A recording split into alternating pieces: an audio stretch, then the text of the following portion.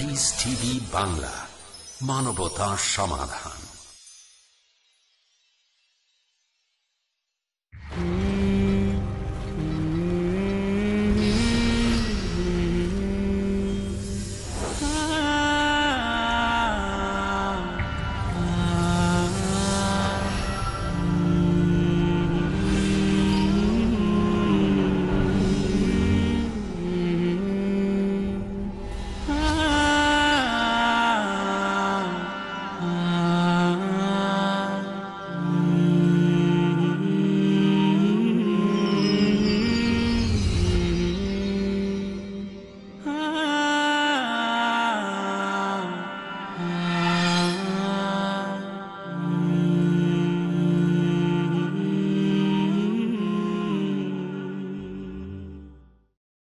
আসসালামু আলাইকুম রহমতুল্লাহি ইন আলহামদুলিল্লাহ বসলাতু আসসালামু আলা মাল্লা নবী আবাদা আম্মা বায়দু সুপ্রিয় দর্শক আমরা আজকেও আরেকটি ঘটনা সেই হাদিস থেকে উপস্থাপন করতে যাচ্ছি ইনশাআল্লাহ, যেটা হবে আমাদের তাহজিব ও তামুদ্দনিক জীবনে অনেক শিক্ষা এবং ইমান ও আমলকে সুদৃঢ় করা শির্ক মুক্ত রাখার একটি পাথেও আসুন প্রথমেই পরিচয় করিয়ে দিচ্ছি।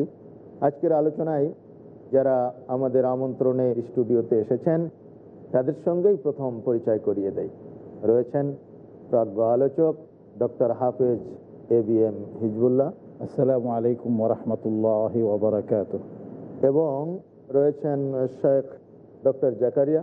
আসসালামু আলাইকুম রহমতুল্লাহ আরও আছেন শেখ মুজফর বিন মহসিন। আসসালামু আলাইকুম রহমতুল্লাহ আর উপস্থাপনায় আমি জাহাঙ্গীর আলম ইসলাহি।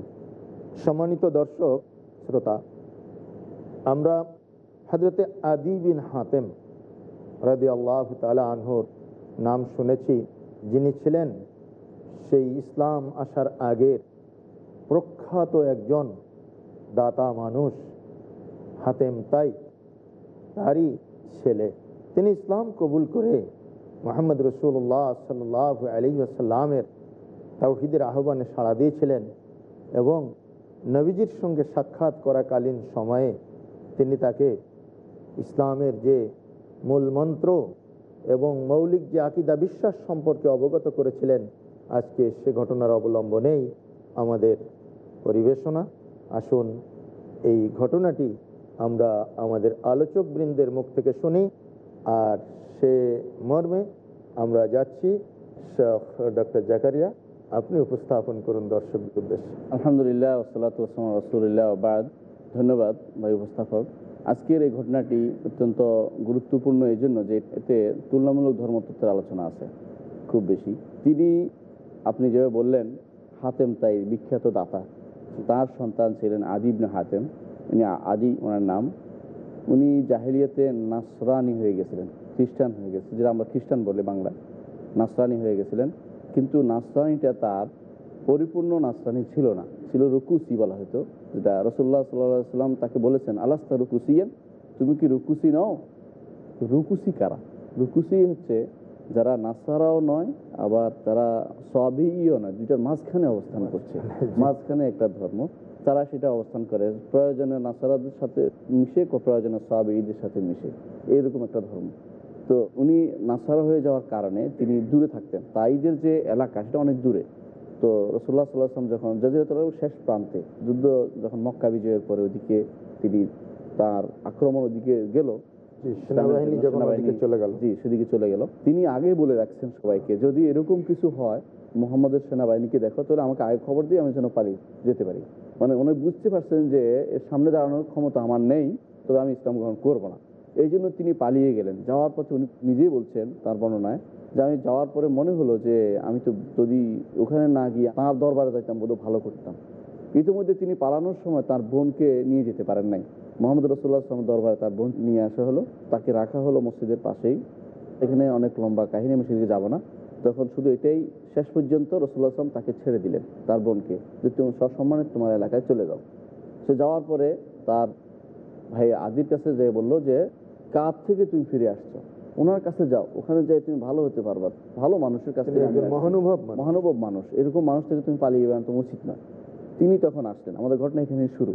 তিনি আসার পরে আদিবনে হাতেম রাজি আল্লাহ আনহু বলছেন যে আমি আসার পরে রসোল্লা আমাকে দেখলেন যে আমার গলা একটি স্বর্ণের ক্রুশ ক্রুশ যেটা এখন খ্রিস্টানরা পরে থাকে ক্রুশ যে ক্রস চিহ্ন। তারা মনে করে থাকে যে ইসা আলাইসাল্লামকে তারা সুলিবিদ্যের একটি প্রতীক। প্রতীক হিসাবে যে শুলিবিদ্য করেছে ইহুদিরা সেই জন্য তারা এটা ক্রুশ ধারণ করে থাকে। এটা দেখে রসুল্লাহ আসলাম বললেন ইতরাহ আঙ্কা হাদাল ওয়াসান ইতরাহ আঙ্কা হাদাল ওয়াসান তোমার থেকে এই ওয়াসান দূর করো। ওয়াসান বলা হয় যেটা আসলে কোনো মানুষের ইয়া নয় এর বাদে অন্য যেটারই আবাদত করা হয়, সেটা কোনো পাথর হতে পারে, সেটা যে কোনো জিনিসটা আবাদত করা হয়, এমন যে কোনো জিনিসটাকে ওয়াসান বলা। সনম হচ্ছে মূর্তি, সরাসরি মানুষের মূর্তি বা প্রতিকৃতি যেটাকে বলা হয়। তো তুমি এটাকে অবশ্যই এরকম যেহেতু ছবি ছিল না, ছিল একটা প্রতীকী যেটাকে তারা গলায় ধারণ করতো, ভালোবেসে, শ্রদ্ধা ভরে যেটাকে বলে, ভক্তি করে যেটাকে গলায় ধারণ করছিল যে ওনারটা গলায় ধারণ করলে হয়তো আমার ক্রুশ ধারণ করলে হয়তো আমি নাজাদ পেয়ে যাব, মুক্তি পেয়ে যাব। ধারণ করে রসুল বললেন যে, এত্রা, এটা তুমি নিক্ষেপ করো।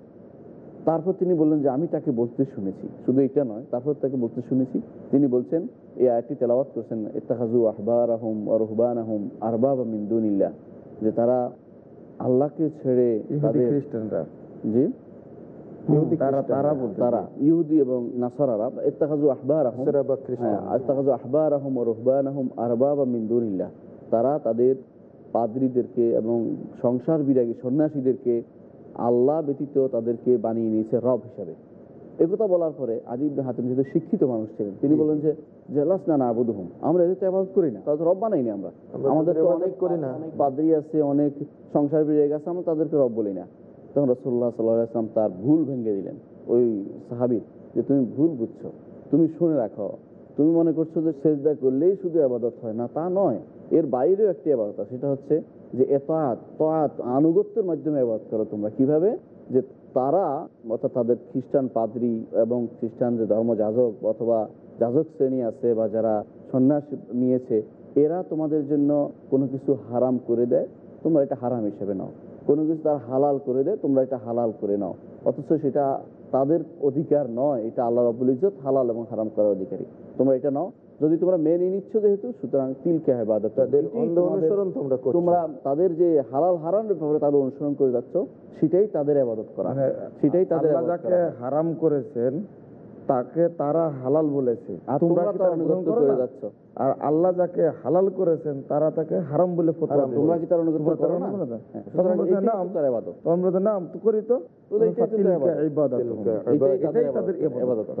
এটাই তো হচ্ছে হাদিসের মূল ভাষ্য একটু পর্যন্ত। এরপরও আরও হাদিসের বাকি অংশ আছে আমরা একটু মধ্যে সীমাবদ্ধ রাখি। জি। শুক্রিয়া জেজাকাল্লাহ খায়ের ডক্টর জাকারিয়া। সুপ্রিয় দর্শক অত্যন্ত সাবলীলভাবে প্রাঞ্জল ভাষায় আপনাদের সামনে উনি উপস্থাপন করলেন হাদিসের ঘটনাটুকু। তো এই হাদিসের ঘটনা থেকে আমাদের উপলব্ধির বা আমাদের শিক্ষণীয় বিষয় অনেক যা আমরা আসুন আলোচক বৃন্দের মুখ থেকেই শোনার চেষ্টা করি। আমি প্রথমেই যাচ্ছি আমাদের প্রাজ্ঞ আলোচক, ডক্টর এ বি এম হিজবুল্লার কাছে। আলহামদুলিল্লাহ ওসালাত ওসালাম আলা রসুলিল্লাহ আলা আলহি ও আসহাবি ওমাওয়ালা আম্মাবাদ চমৎকার একটি হাদিস আমাদের সামনে উপস্থাপিত হয়েছে। এই হাদিস থেকে সবচেয়ে বড় যেই শিক্ষাটা আমাদের সামনে আসে, সেটা হচ্ছে যে গলায় ক্রুশ বা শিরিক জাতীয় কোনো জিনিস ধারণ করা যাবে না। যেটা সরাসরি অন্য কোনো ধর্মের প্রতীক। সিম্বল সিম্বল যেমন খ্রিস্টানদের সিম্বল হচ্ছে আপনার ক্রুশ। হ্যাঁ ইহুদিদেরও তাদের সিম্বল আছে। হুনুদ হিন্দুদেরও তাদের সিম্বল আছে। Symbol পৈতা পরা ইয়ে আর কত অনেকে রাখি হ্যাঁ, কোনো ধর্মের জাতীয়। হ্যাঁ মানে ধর্মীয় যে সিম্বলগুলো আছে প্রতীকগুলো আছে এইগুলো ওয়াসান ওয়াসান এবং এগুলো কোনো ইমানদার বান্দা এটা তারা ধারণ করতে পারবে না, এটা সম্পূর্ণ সেরেকের পর্যায়ে পড়বে। এই হলো একটা। আরেকটা বিষয় এখানে চমৎকার আসছে, সেটা হলো এই যে আমরা তো এবাদত বলতেছি উদিয়ত বলতেছি, আল্লাহর কথা মানাকে, আল্লাহর কথা শোনাকে নামা রোজা করাকে আমরা এবাদত বলতেছি। কিন্তু এখানে এই আহবার রুহবানদের যে এবাদতের কথা বলা হয়েছে, যে আল্লাহ যেটাকে হালাল বলেছেন, বৈধ বলেছেন, সেটাকে তারা করেছে হারাম। আর ওরা এটা মেনে নিয়েছে। মেনে নিয়েছে। আর আল্লাহ যেটাকে হারাম করেছেন ওটা সেটাকে হালাল করেছে এরা তাকে মেনে মেনে নিয়েছে। জি। এই জন্য ওয়াকালু হাদিহি আনআমু হাসানা ওয়াকালু মা ফি বুতুনি হাদিহি আনআম খালিসাতুল লিযুকুরিনা ওয়া মুহাররামুন আলা আজওয়াজিনা। জি ওয়া ইন ইয়াকুম মাইতাতান ফাহুম ফিহি শুরাকা। পেটের মধ্যে যেটা আছে এটা আমাদের জন্য মাফি বুতুনি হাজির আনআম খালিসাতুল লিযুহুর ওয়াকালু মা ফি পুরুষের পাবো। জি জি। জি এভাবে। যদি মৃত্যু হয় তাহলে সবাই পাবে। মরা হলে পুরুষ মহিলা সবাই সবাই খাবে, খেতে পারবে। আর জীবিত শুধু- শুধু পুরুষ পুরুষদের। এই তাদের একটা মানে ব্যবস্থা বানানো- একটা- বানানো জিনিসগুলো কি করছে? বর্তমান সমাজেও যদি আমাদের মধ্যে আল্লাহ মাফ করুক বিভিন্ন ধরনের আমরা তো দেখতে পাচ্ছি ওর ওরস ইত্যাদি। যেগুলিকে আল্লাহ হারাম বলেছেন এখানে সেগুলোকে হালাল বানানো হচ্ছে। আর সেগুলো যেমন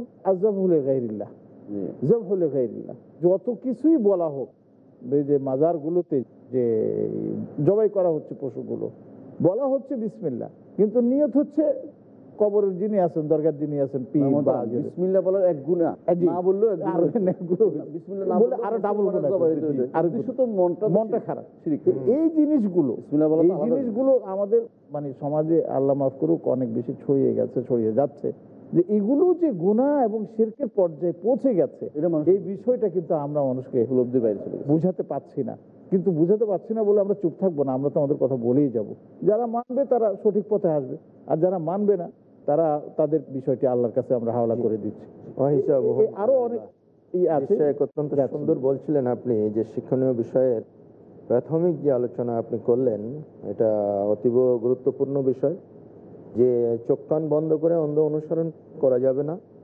আর কোনো দরগায়, মাজারে, কবরে, খানকায় ভক্তির অর্ঘমাল্য নিয়ে সেখানে ছোটা যাবে না। সুপ্রিয় দর্শক শ্রোতা, এই মনজ্ঞ আলোচনায় আপনাদের সামনে সামান্য সময়ের জন্য একটি ছোট্ট বিরতি নিচ্ছি। বিরতির পর আবারও আমরা এই ধারাবাহিকতায় ফিরে আসব ইনশাল্লাহ ততক্ষণে সঙ্গেই থাকুন। আসসালামু আলাইকুম আ রহমতুল্লাহ।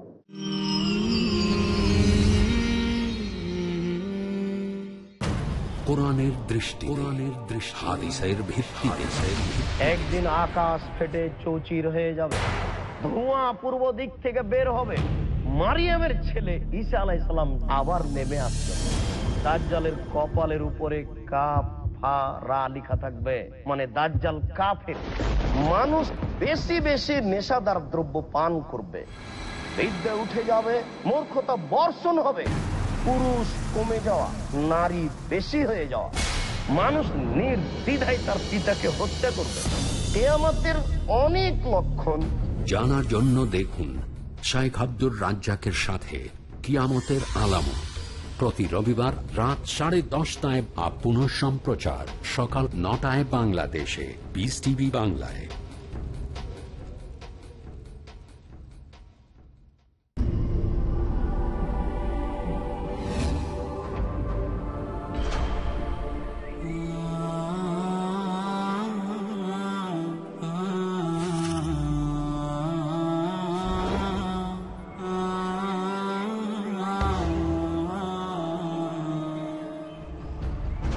আমরা তো সকলেই চাই মহান আল্লাহ প্রেম ও পবিত্র জীবন অর্জন করতে।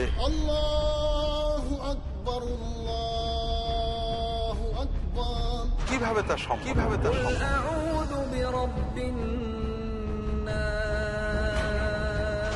একমাত্র মোহাম্মদ রসুল্লাহ সাল আলী ওয়াসাল্লামের অনুসরণ এবং অনুকরণের মাধ্যমে আমরা মহান আল্লাহর প্রেম ও পবিত্র জীবন পেতে পারি।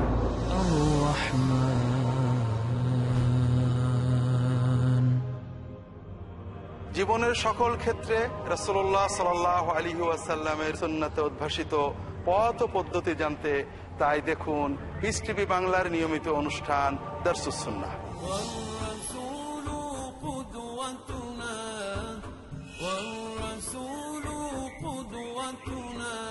সমগ্র জীবনকে সফল ও সুন্দর করার জন্য প্রয়োজন সুন্নাতের বাস্তবায়ন। দেখুন, দার্সে সন্না, পরবর্তী অনুষ্ঠান পিস টিভি বাংলায়।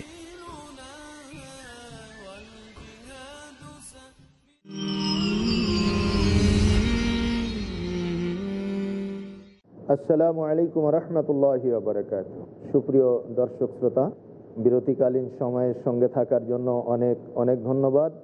আমরা যে আলোচনায় ছিলাম, আদি বিন হাতেম রাজি আল্লাহ তালা আনহুর সেই ঐতিহাসিক ঘটনা, যার শিক্ষণীয় বিষয় সম্পর্কে আলোচিত হচ্ছিল, এ পর্যায়ে আমরা যাচ্ছি শেখ মুজফর বিন মোহসিনের কাছে।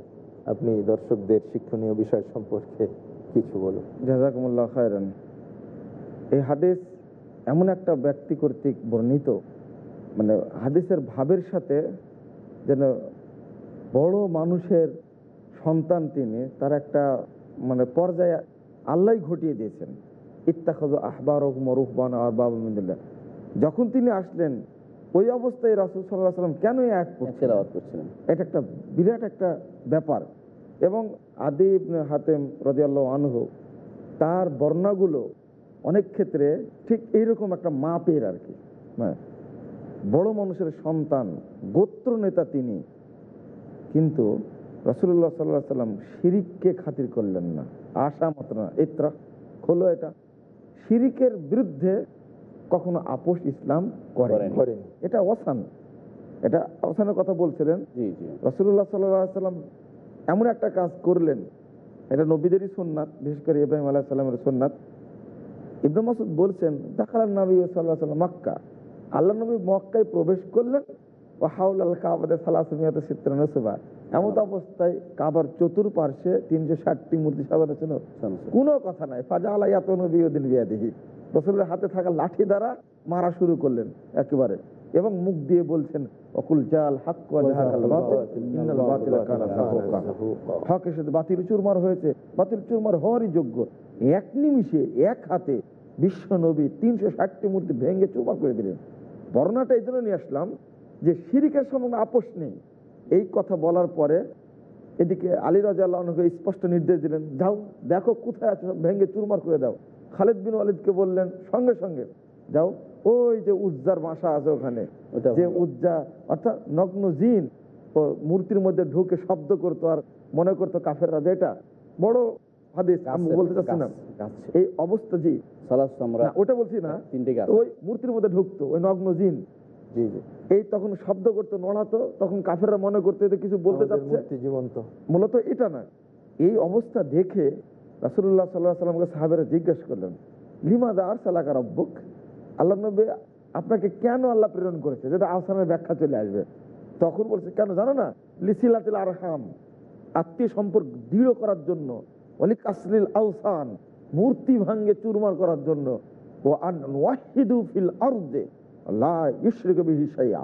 আর পৃথিবীর বুকে তাওহীদ প্রতিষ্ঠা করার জন্য যেটা আল্লাহর সঙ্গে শরীক না করে। সহি মুসলিমের হাদিস। মানে দাওয়াতের একটা পর্যায়ে এখানে বর্ণিত হয়েছে যে দাওয়াত দিতে গেলে একজন মানুষের মধ্যে একটা আদাত আছে। তাকে আমি বুঝায়া যেমন রসুল্লাহ সাল্লাম। ওই যে মসজিদের মধ্যে পেশাব করলেন যে ব্যক্তি তার সঙ্গে যে আচরণটা করলেন সোমা বেগম আসালের সঙ্গে যে আচরণটা করলেন, অনুরূপভাবে আরেকজন ব্যক্তি মসজিদের সালাদ পড়া অবস্থায় তিনি হাঁটুতে থাবা দেওয়ার কারণে যে আচরণটা করলেন তাদের সাথে, কিন্তু তার ব্যতিক্রম আচরণ হলো আদিব হাতিমের সাথে। ভদ্রতা দেখলেন না, খোলো আগে, এটা শিরিক, চলবে না এটা। তারপরে সবচেয়ে বড় শিক্ষা বর্তমান আধুনিক যুগের জন্য যে এত সুন্দর একটা মানদণ্ড, যদি এই তিল ইবাদত হুম এই আয়াতের সানরজুল হিসাবে ব্যাখ্যা হিসাবে না আসতো তাহলে ইত্তাখাদ আহবার রুহবান আর বাবা মিন মানুষ বিতর্কে নেমে যেত। কি চমৎকার ব্যাখ্যা। অর্থাৎ এমন বিধান আল্লাহ রাব্বুল আলম নাজিল করেছেন আবার ব্যাখ্যা দিয়ে দিয়েছেন হাদিসের মধ্যে অথচ তার উল্টা আরেকজন বিধান দিচ্ছে। কেউ পীরের নামে ভক্তি করছে তাকে যারা শরীয়তের উল্টা। কেউ তরিকার নামে ভক্তি করছে যা উল্টা। কেউ বিভিন্ন দর্শনের নামে ভক্তি করছি, সেটা শরীয়তের উল্টা। যেমন আজকে যদি আমরা উদাহরণ হিসেবে পেশ করতে চাই, আজকে মতবাদগুলো, জাতীয়তাবাদ, ধর্মনিরপেক্ষতাবাদ, তারপরে গণতন্ত্র, তারপরে সমাজতন্ত্র, এগুলো সব তন্ত্র এক একজন ব্যক্তি তৈরি করেছে। ইসলাম বাদ দিয়ে সেগুলো আমরা পূজা করছি, অনুসরণ করছি, সেই ক্ষেত্রে কি তাকে এবাদত করা নয়? শুধু আমরা ধর্মীয় জীবন উদাহরণ দেবো, তাও তো নয়। ধর্মীয় জীবনের ক্ষেত্রে একজন ব্যক্তি এখানে ব্যক্তিদেরকে উদাহরণ তাহলিল এবং তাহারিমের সাথে সম্পৃক্ত। আনুগত্য সবগুলিতে নয়। জি। তাহলিল এবং তাহারিমের আনুগত্য হচ্ছে শিরকের পর্যায়ে। কারণ রবের দায়িত্ব হচ্ছে হুকুম দেয়া। আলা আলাহুল খালকু ওয়াল আমরু। তিনি সৃষ্টিও করবেন তিনি বিধান দিবেন। এই বিধান দেওয়ার ক্ষমতা রব্বুল আলমিনের। এই জন্য রবের কাজ হচ্ছে বিধান দেয়া হালাল এবং হারামের বিধান দেয়া। শিরিকের বিধান। আমি যেটা বলছিলাম যে এটাকে একটা ইসলামকে বাদ দিয়ে আর একটা কোনো ধর্মের অনুসরণ করাটা এটা কোন পর্যায়ে পড়ে যায়? যেমন হারাম করা হয়েছে মদ তো কথার কথা। সেটাকে হালাল মনে করে করেন। হালাল হালাল করে দিলেন। আল্লাহ তালা বলছেন। মানুষের মালিক তিনি। আপনি বলছেন জনগণের আপনি বলে দিলেন। এই জাতীয় জিনিসগুলো আমি বলতে চাচ্ছি এটাই যে হালালকে হারাম করে দেয়। হারামকে হালাল করে দেয় যে আনুগত্য করবে তারা আবাদত করছে। আর যারা এই কাজটা করছে তারা রবের ভূমিকা পালন করছে। এই জন্য এই জিনিসের দুইটা শিরিক আছে। দুইটা শিরিক। একটা হচ্ছে তাহিদুর রুবিয়াতে শিরিক করছে কারা? যারা এই হালালকে হারাম করছে। আর তাহিদুর নির্দেশ দাতা। নির্দেশ দাতা। আর যারা অনুসারী তারা করছে তাহিদুর উলহিয়া শিরিক। তো একই জায়গাতে দুইটা শিরিক হয়েছে। রসুল আসলাম এটা বোঝানোর জন্য রব কেন বানাইলো? রব করছে তুমি তো আমরা আবাদত করি না। আদিবনে হাতিমের উদ্দেশ্য ছিল যে আবাদত না করলে রব হয় কি করে? তুমি বলছো না তোমরা আবাদত করো কারণ তো মেনে নাও। মেনে নেওয়ার কারণে তাদেরকে তুমি রব মানিয়ে নিয়েছো। রব মানে ওদেরকে রবের স্থানে তোমরা রেখেছো। রেখেছি। হ্যাঁ আর তাদের যে হুকুমটা আছে মেনে নেওয়ার কারণে তোমরা তাদের মানে ইবাদতের ইয়েতে চলে যা বলছে তোমরা নিরঙ্কুশ ভাবে তাদের অনুসরণ করছ অনুকরণ করছ। এটাই জাতীয় জিনিসই যেখানে আসবে যেখানে জি, জি। আপনি যে বলছিলেন যেই জায়গাতেই পাওয়া যাবে সেই যেই তন্ত্র মন্ত্রই হোক না কেন পৃথিবীতে এখন অভাব নেই এবং ব্যক্তিও হতে পারে। রাষ্ট্র হতে পারে এবং কোনো একজন বিচারপতিও হতে পারে যারা এই কাজগুলি করছে। আল্লাহর আইনের বিরুদ্ধে আল্লাহ বলছে যে হাত কাটতে হবে চোরের। আল্লাহ বলছে পাথর মেরে মারতে হবে। আপনার কাছে এটা পছন্দনীয় আপনি পরিবর্তন করেছেন। আপনি একজন তাগুত সত্যিকার অর্থে। যে ভূমিকা পালন করছেন। তাগুতের অনুসরণ করছে। যারা এখানে কিন্তু আরেকটা বিষয় আমি একটা বিষয় এখানে কিন্তু যেখানে- এই জি। ডক্টর জাকির একটা বিষয় অবতারণা করেছেন। যে যে হাত কাটা তারপর হদ কায়েম করা জারি করা। জি। এটা বোধহয় শর্তের মধ্যে এটা আছে যে সেটা ইসলাম স্টেট হতে হবে। এটা রাষ্ট্রীয়ভাবে কাম করতে। রাষ্ট্রীয়- বা ব্যক্তি সেটাই বলছি। হ্যাঁ। বিভ্রান্তি বা ভুল আমি আলোচনা করছি হ্যাঁ, হ্যাঁ। একটা হচ্ছে আপনি করছেন না এটা আলাদা কথা। কিন্তু আপনি যখন পরিবর্তন করছেন রবের আসন আপনি রবের কাকে বসিয়ে বসাচ্ছেন। শুধু তার বিশ্বাস ব্যক্তিগত ব্যক্তিকে ইন্ডিকেট করছি না। আপনি যখন আল্লাহর আইনকে পরিবর্তন করে দিবেন সেটা হচ্ছে আপনি সত্যি রবের আসনে বসে গেছেন মনে করছেন যে এটা করবে। সে রবের আসনে বসছে এবং সে পরিবর্তন করে রবের আসনে এবং তাকে অন্যদেরকে মানতে বাধ্য করছে। এই আরেকটা চমৎকার উদাহরণ দেন যেমন নাকি উত্তরাধিকার আইনের মধ্যে। ছেলে মেয়ে আল্লাহর দৃষ্টিতে আল্লাহ পাক যেটা দিয়েছেন সেটা হচ্ছে যে মেয়েদের ডাবল পাবে ছেলেরা। ছেলেরা। কিন্তু এখন কোন কোন দেশে এখন করে ফেলছে সমান। সমান করার এবং করেছে এই- ধরনের যেগুলি আছে। কাজটি করছে সবের ভূমিকা পালন করতে জি, জি, আর যারা আনুগত্য করতে যাচ্ছে তারা করতেছে আবাদত হ্যাঁ, আনুগত্য করছে। সুতরাং প্রত্যেকের একটা জায়গাটা পার্থক্য আছে। এই পার্থক্যটা ধরিয়ে দিলেন। এটা বুঝাইতে একটা জিনিস আরও শিক্ষণীয় ব্যাপার আছে যে নাসারারা তারা দল যেমন বলেছে আল্লাহ তালা তাদেরকে দলিন বলেছে পদভ্রষ্ট দলিন। বলেছে। তারাও তাদের দিন সম্পর্কে জানে না। তারা দিন সম্পর্কে না জানার কারণে তারা ঈসা আলাহিসামকে রব বানিয়ে ফেলছে। আবার তাদের পাদ্রীদেরকে রব বানিয়ে যাচ্ছে তাদের দিন সম্পর্কে তাদের জ্ঞান অভাব তাদের প্রচণ্ড রকমের জ্ঞানের অভাব। যেমন ইহুদিরা জ্ঞানী এই জন্য আল্লাহ বলছে ওদের মাকদুব আলাইহিম। জ্ঞানী কিন্তু জ্ঞান। জ্ঞান পাপী হ্যাঁ। আর এরা হচ্ছে একদম পদভ্রষ্ট জানেই না ওরা। রসুল আসলাম তাকে বুঝাইতে চাইলেন তুমি নিজেকে নেতা মনে করতেছ অথচ তুমি রুকুসি। আন্তা রুকুসিয়ান আনা আলো বিদিনিকে মিঙ্কা তোমার থেকেও আমি তোমার দিন বেশি জানি। বেশি জানি। তুমি মেরবা খাও। অর্থাৎ চার ভাগের এক ভাগ টাকা নিয়ে মানুষ খাইতেছেন তোমার দিনে এটা গ্রহণযোগ্য নয়। তোমার দিন যদি এটা গ্রহণযোগ্য নয়, এটা রসুল জানে, ও জানে না।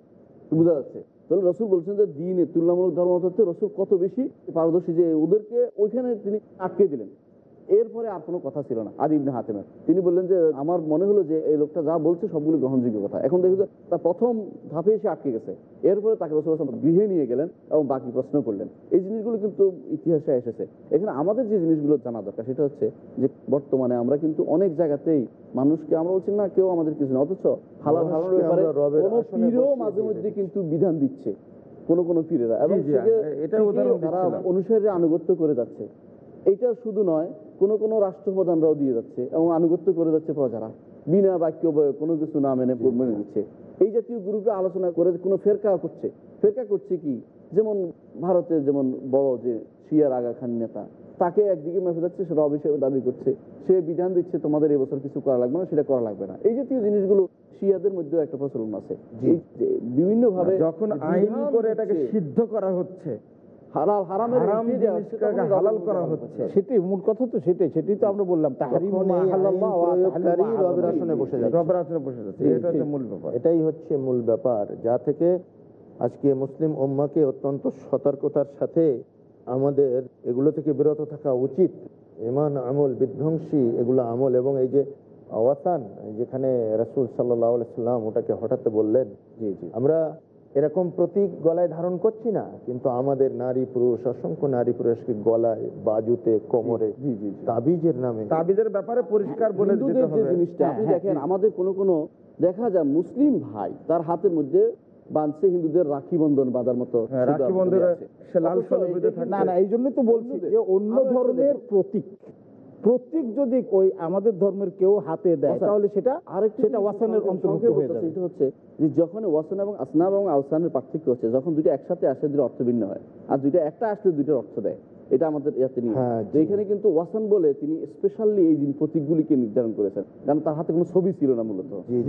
এটা তো অবশ্যই এরকম কোনো প্রতীক তামার হোক পিতলের হোক লোহার হোক যেটাই হোক, থাকলে জি, জি, জি, এটাকে সেটা অবশ্যই- পরিত্যাজ্য। আমাদের ইসলাম সেটাই বলেছে এবং প্রিয় নবী মোহাম্মদ রসুল্লাহ সাল্লাহ আলী আসাল্লাম একজন সম্ভ্রান্ত বংশের আগন্তক। যিনি সম্মানের পাত্র বটে আল্লাহ নবী তাকে সম্মান করেছেন কিন্তু শিরকের সাথে আপোষকামিতা করেননি। সাথে সাথে ওটাকে হটিয়ে দিতে বলেছেন তা না হলে ইমান থাকবে না। সুতরাং দর্শক শ্রোতা আসুন আমাদের সার্বিক জীবনে আমাদের ইমান আমলকে সুরক্ষা করার জন্য আমরা শির্ক মুক্ত আকিদা বিশ্বাস এবং আমল অনুশীলন করার চেষ্টা করি। মহান আল্লাহ আমাদের সেই তৌফিক দান করুন। আমিন। আল্লাহুম্মা وبحمدك أشهد أن لا إله إلا أنت أستغفرك وأتوب إليك. السلام عليكم ورحمة الله وبركاته.